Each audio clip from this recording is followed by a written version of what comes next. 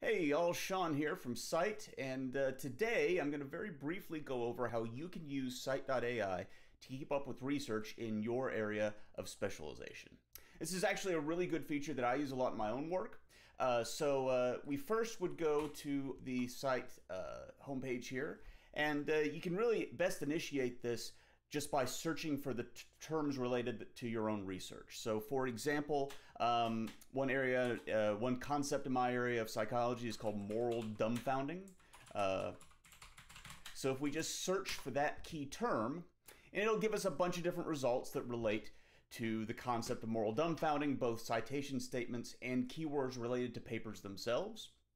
But uh, what we want to focus on today is this little uh, uh, create search alert, this little bell icon up here at the top.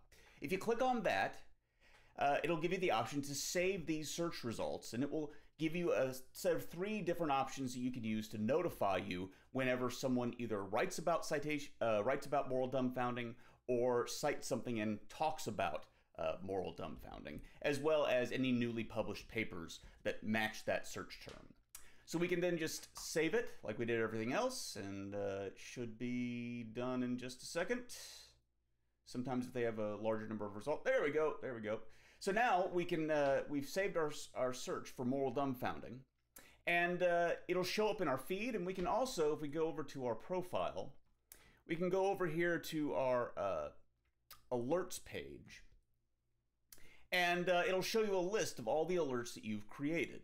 And uh, you can do a bunch of different options here to customize how these alerts are surfaced. So you can just turn them off completely, for example. You can choose whether or not to get an email and how often to get that email, either daily or weekly.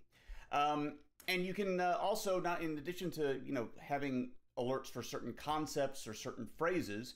You can also get alerts for any time a particular paper has been cited or anytime we have a new publication by a particular author.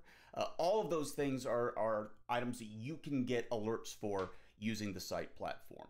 Uh, I use it. I've been using it ever since we uh, uh, rolled out this feature. I find it really helpful to keep up with the area of my research, and uh, hopefully it will help you too.